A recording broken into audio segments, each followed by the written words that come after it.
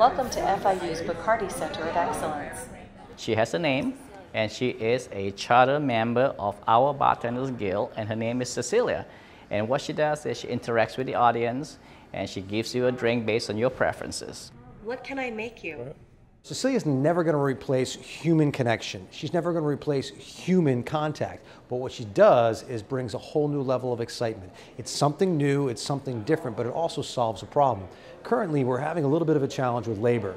Now, again, Cecilia's not going to replace that expertise, but what she does is augment it. She helps. It's a great opportunity to do something completely different.